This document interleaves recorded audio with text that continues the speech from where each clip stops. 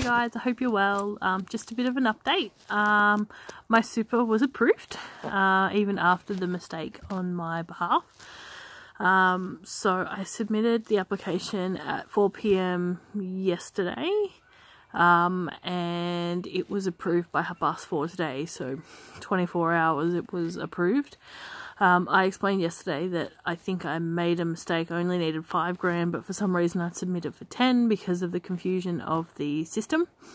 Um, and it didn't seem to be an issue. They just said it's only been partially granted for $5,000, um, which is all I needed, which is really good. Um, I do need to take into consideration the 22% tax that will apply to that as well. So I think it comes out about $3,900 roughly I get back. Um, so I have contacted my superannuation Hostplus and they've sent me an email.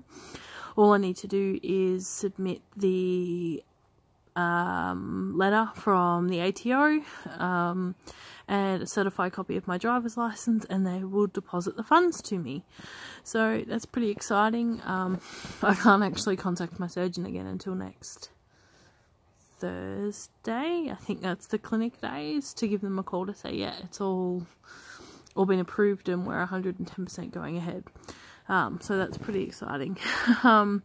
so that's one less thing to be worried about now. Um, it looks like, yeah, 5000 for the surgeon and get approximately $650 back from Medicare from the surgeon and things like that. So hopefully that will then cover my $500 hospital excess. Um, the only thing I need to tackle now um, is my private health fund because as of the 1st of April 2019 a whole heap of changes are coming into effect the government is reconforming or something like that to do with private health. Um, but I'm hoping, because I've already booked a date prior to the changes, my health fund matures prior to the changes, that I should remain, like it, it shouldn't really affect me. But I will confirm with them on Monday or Tuesday whenever I get a chance to give them a call. So really really happy with the ATO's decision. That was like less than 24 hours when their form said up to 14 days. So that's really really good.